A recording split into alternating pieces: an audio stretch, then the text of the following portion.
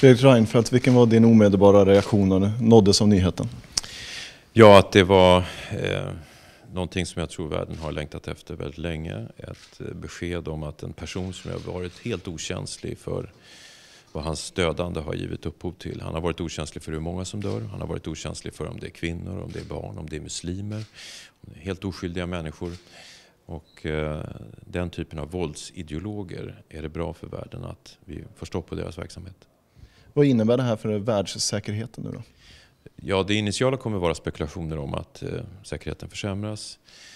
På lite sikt så är det förhoppningsvis så att eh, både det faktum att bin Laden är borta, att han var försvagad, att al-Qaida-nätverket är försvagat i världen. Det faktum att den arabiska våren eh, öppnat upp för att i den muslimska världen ropa på demokrati, öppenhet och frihet. Allt detta ger hopp om att terrorism och dödande av oskyldiga trängs tillbaka och att världen går in i ett nytt kapitel, en ny fas som handlar mer om öppenhet och demokrati.